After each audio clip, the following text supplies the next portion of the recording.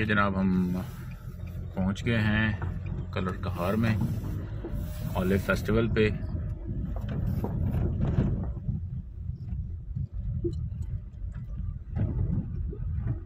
इस तरफ़ देखें तो ये पंडाल लगा हुआ है राइट साइड पे।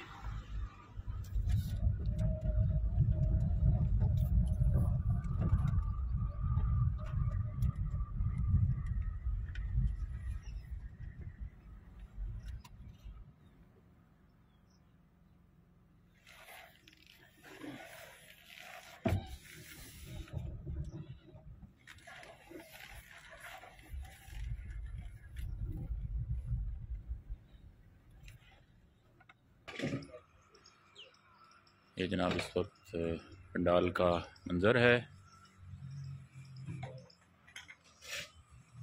माशाल्लाह।